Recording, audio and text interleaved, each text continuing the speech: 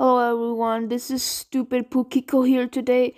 I am doing a history and caca entertainment. Liar, liar, plants for hire.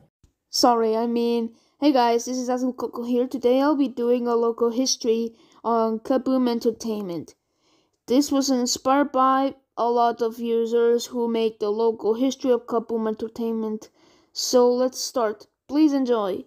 2000 to 2014 we have the kaboom in yellow, but the second though is in black and it's a bomb.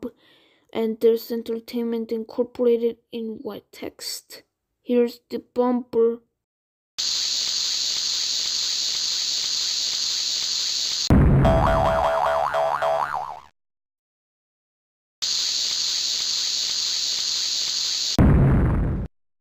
Two thousand fourteen to the present, there's the word called boom in blue and green text, and there's the word entertainment in blue text. Here's that intro.